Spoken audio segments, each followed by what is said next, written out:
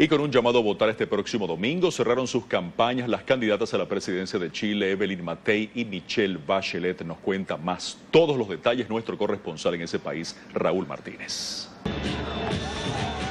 Con ideas opuestas sobre el Chile del futuro, cerraron sus campañas la oficialista Evelyn Matei y la candidata de la nueva mayoría, Michelle Bachelet. Las propuestas crean expectativas entre la ciudadanía.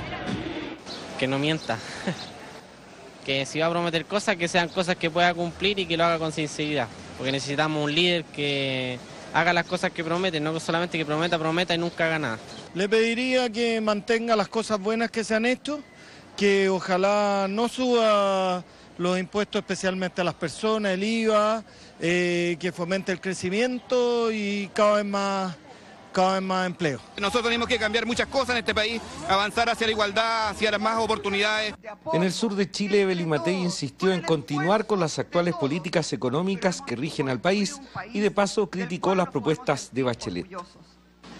Yo no sé en qué minuto, yo no sé en qué minuto se les ocurrió que había que echar abajo esta casa. Porque partir de cero, partir echando abajo la constitución, Querer construirlo todo de nuevo, perdón, ¿qué sentido tiene cuando hemos construido un país del que nos sentimos tan orgullosos? En medio de un acto cultural, Bachelet reconoció la posibilidad más cercana de triunfar para hacer cambios que los chilenos exigen. Podemos hacer de Chile un país desarrollado de verdad y todo esto se juega en las elecciones de este próximo domingo. Y por eso que no es lo mismo quien gane.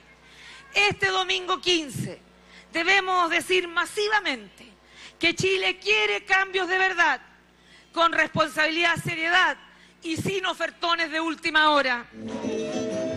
Desde esta medianoche rige el silencio electoral hasta la votación del domingo, cuando se definirá la futura presidenta que va a dirigir al país por los próximos cuatro años. Raúl Martínez, Telesur, Chile.